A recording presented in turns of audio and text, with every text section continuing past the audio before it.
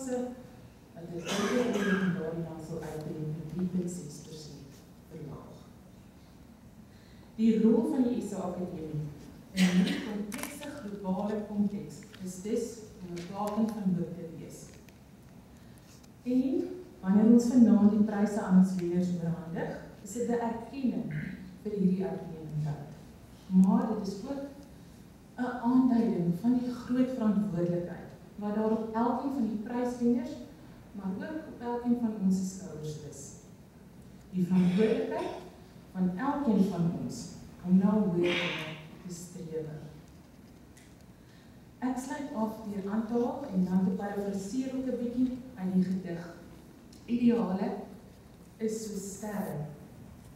Wie na hoër dinge streef en wil handhaaf en wil bou, word soms in die moderne lewe uitgelag en uitgejou.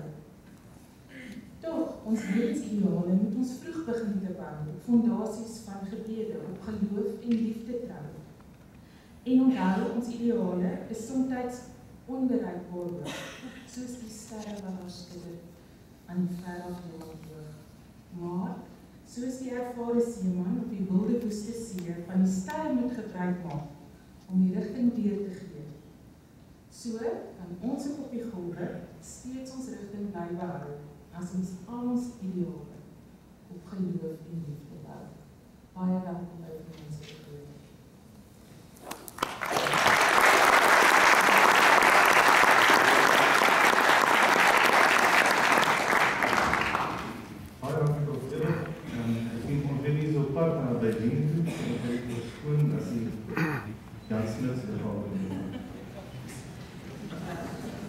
welkom by ons.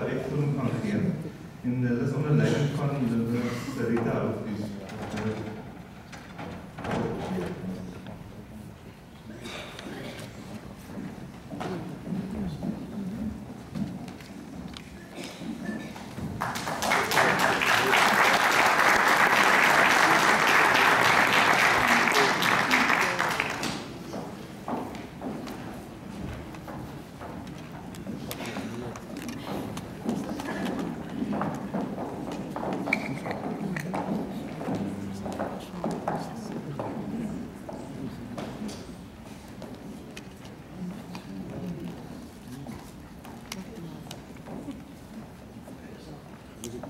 Goeienaand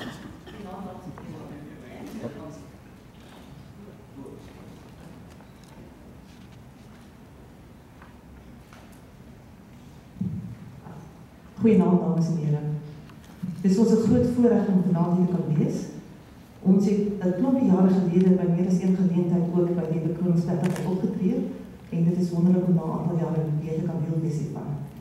Ons naam is Palisander en dit verwys na die openingsgedig in Boerneef se vierde digbundel Palisandryne.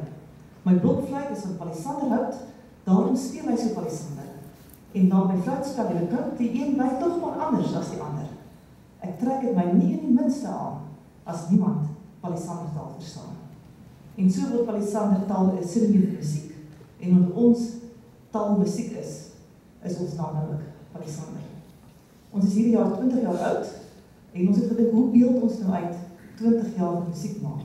En uiteindelik is ons tema vir die jaar die lig van sang.